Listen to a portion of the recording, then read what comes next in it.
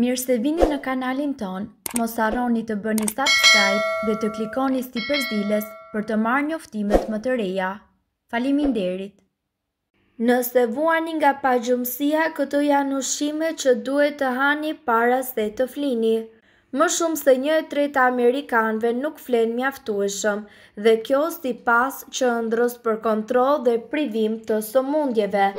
Nëse ju jeni një prej tyre me siguri jeni duke luftuar me pagjumësinë. Ideja e të ngrënit para gjumit nuk është edhe aq e pranueshme, sidomos pirja e një kafeje, alkoolit apo zakoni i mbajtjes të telefonave apo pajisjeve elektronike para fytyrës teksa përpiqeni të flini. Shumë njerëz pinë një ose dy gota verë në mbrëmje, por në fakt kjo mund të jetë e dëmshme për cilësinë e gjumit. Ka disa opsione shumë më të arsyeshme që mund t'i shtoni në dietën tuaj për të bërë një gjumë më të qetë dhe më të plotë. Në krye të listës, arrat, bajamet dhe fistikët për shkak niveleve të larta të zinkut dhe magnezit. Këto elemente njihen për ndikimin në problemet me gjumin. Ata të cilët janë alergjikë munden që të zgjedhin kivi, qershi dhe peshk me vaj si sardelet dhe toni. Gjithashtu, për juve që nuk ju pëlqen ideja e të ngrënit ushqime para gjumit, mundet që të pini çaj kamomili ose të merrni suplemente magnezi, të cilat ndihmojnë në qetësimin e gjendjes tuaj, ashtu si edhe aroma e lavandës. Stresi gjithashtu konsiderohet shkaku numër një i pagjumësisë. Personat të cilët vuajnë nga pagjumësia kanë vështirësi për të fjetur. Zgjohen shpesh, zgjohen shumë herët dhe të lodhur. Gjumi cilësor është një nga gjërat më të rëndësishme për shëndetin tonë dhe një gjumë i mirë gjatë natës është po aq i rëndësishëm sa të ushqehemi shëndetshëm. Fatkeqësisht shumë njerëz luftojnë me mungesën e gjumit por edhe me pagjumësinë. Në mënyrë që trupi juaj të pushojë dhe të mbushë bateritë e tij për ditën e nesërme, ju duhet që të bëni të paktën mesatarisht shtatë deri në tetë orë gjumë të patrazuar. Ajo që ju pini para gjumit mundet që të ketë një ndikim në gjendjen të bini në gjumë dhe rekomandohen disa pije për t'ju ndihmuar të bini në gjumë sapo të vendosni kokën në jastëk. Uji, Pija e parë e disponueshme për të gjithë është padyshim uji. Shumë njerëz mbajnë një shishe me ujë pranë shtratit të tyre dhe kjo nuk është pa arsye. Ujë me sheqer shuan etjen dhe nuk përmban kalori. Rekomandohet gjithashtu që të konsumoni gjatë ditës në mënyrë që të mos zgjoheni duke shkuar në tualet në mbrëmje. Çaj bimor, Çaj bimor para gjumit do të ketë një efekt qetësues në trup. Veçanërisht rekomandohet çaji i borzilokut, i cili ul nivelin e hormonit të stresit, kortizolit.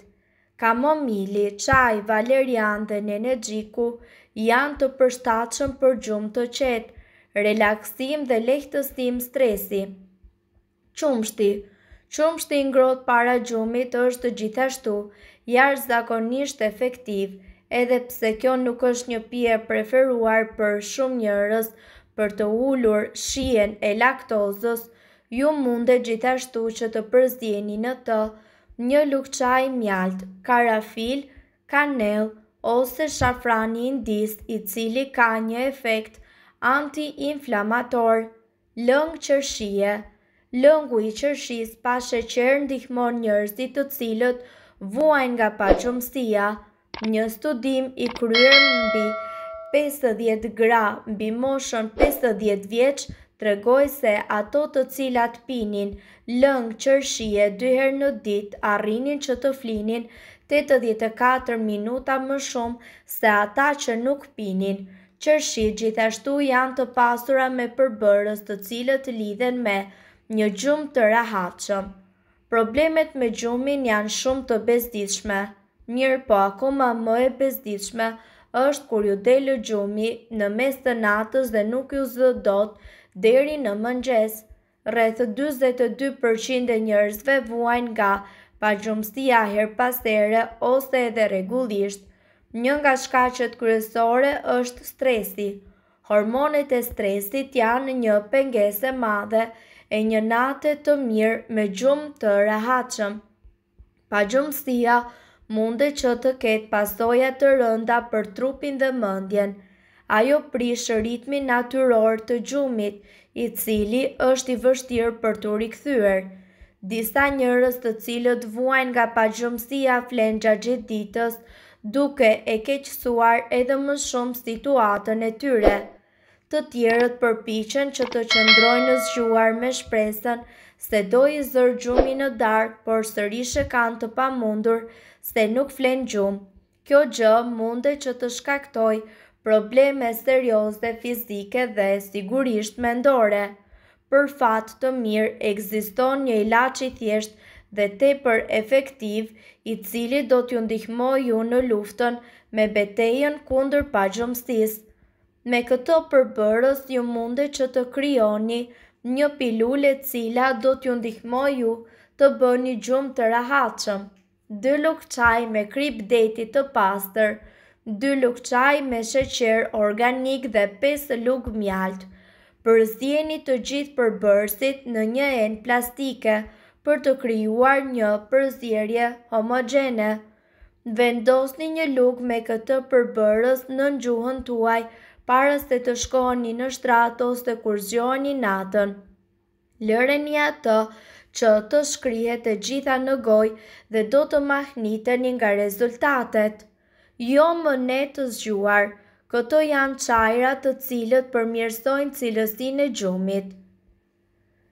Çaji i kamomilit Çaji i kamomilit përmban një antioksidant të quajtur apigenin, i cili mundet të ndihmojë në fillimin e gjumit. Sidoqoftë, provat për të mbështetur përfitimet e kamomilit janë të paqëndrueshme. Por, në qoftë se funksionon për ju atëherë provojeni. Rrënja e valerianës Është një barishte e përdorur për shekuj me radhë për të trajtuar probleme si pagjumësia, nervozizmi dhe dhimbjet e kokës.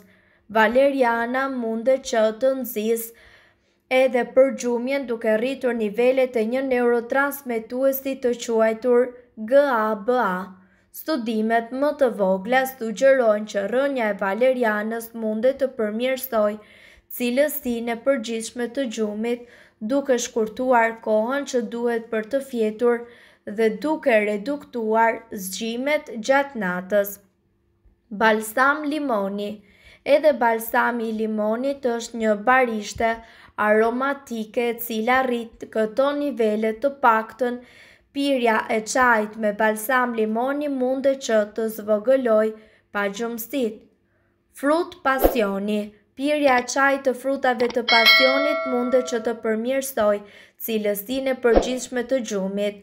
Gjithashtu fruti i pasionit në këmbim me rrënjët e valerianës mundet që të reduktojë pagjumësinë. Lëvorja e manjolës Në studimet me minjtë, çaji i lëvorës së manjolës ka treguar se zvogëlon kohën që duhet për të fjetur dhe rrit sasinë e gjumit të përgjithshëm duke modifikuar receptorët në tru. Sidoqoftë kërkohen studime të mëtejshme për të verifikuar këto efekte dhe tek njerëzit. Mirëpo, duhet të dini se këto informacione nuk kanë për qëllim të zëvendësojnë ilaçet e përshkruara nga mjeku. Para se të provoni këto receta të mjekësisë alternative, ne ju sugjerojmë që të këshilloheni më parë me mjekun tuaj. Nëse doni të dëgjoni videot tona që ne postojmë çdo ditë kliko subscribe. Ju ftojmë gjithashtu të bëni like në videot tona nëse i keni dëgjuar dhe pëlqyer ato. Faleminderit që e patë videon tonë. Shpërndajeni këtë video në profilin tuaj në mënyrë që të informohen edhe shokët tuaj. Faleminderit!